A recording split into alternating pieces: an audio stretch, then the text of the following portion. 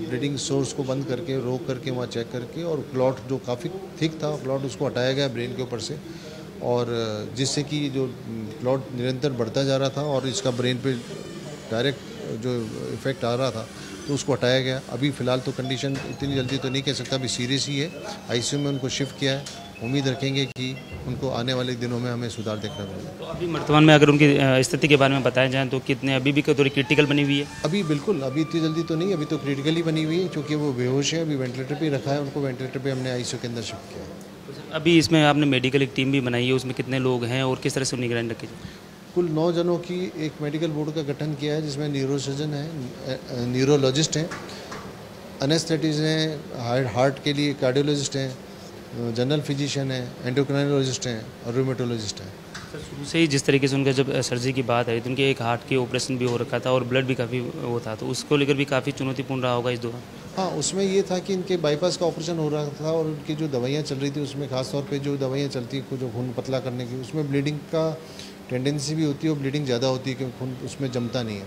तो ऐसे कोई भी ऑपरेशन करने में खासतौर पर ब्रेन के ऑपरेशन करने में उसमें ब्लीडिंग ज़्यादा होती है चांसेस भी ज़्यादा होते हैं। लेकिन निश्चित रूप से क्योंकि इतना बड़ा प्लॉट था बढ़ रहा था उसको तुरंत निकाला जाना आवश्यक था तो हमने उसी दिशा में काम करके इसको पहले सबसे पहले निकाला। सुबह से जब ये मामला धीरे धीरे बढ़ा उसके बाद में जो उनके शुभचिंतक हैं कार्यकर्ता उनमें भी काफ़ी दुआओं का जो दौर है ईश्वर से प्रार्थना करने भी लग गए थे और आप पर काफ़ी नज़र यहाँ पर टिकी हुई थी क्योंकि सर्जरी चल रही थी। तो उनको क्योंकि वो सुबह से ही टेंशन में हैं तनाव में भी बिल्कुल उनके लिए मैं कहूँगा कि अपनी दुआएँ जारी रखें।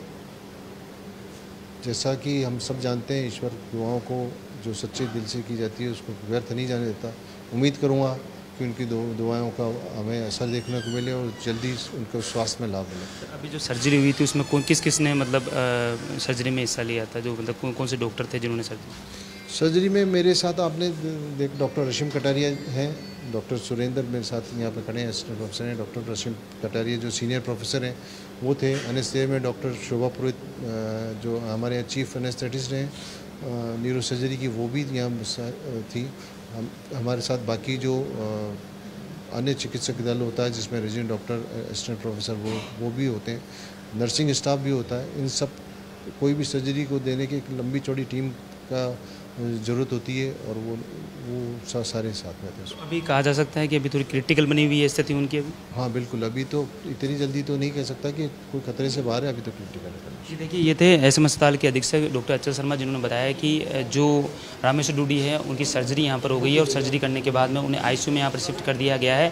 फ़िलहाल उनकी जो स्थिति है, फ़िलहाल क्रिटिकल बनी हुई है, लेकिन उन्होंने जो उनके शुभचिंतक है जो कार्यकर्ता जो सुबह से यहाँ पर डटे हुए थे, उनको एक कहा है कि जब ईश्वर में विश्वास है तो उनको कुछ भी नहीं होगा, लेकिन अभी फ़िलहाल माना जा सकता है कि स्थिति क्रिटिकल होने के कारण उन्हें आईसीयू में रखा गया है। कैमरा पर्सन दिनेश के साथ सतवीर सिंह राठौर, सच बेदड़क जयपुर।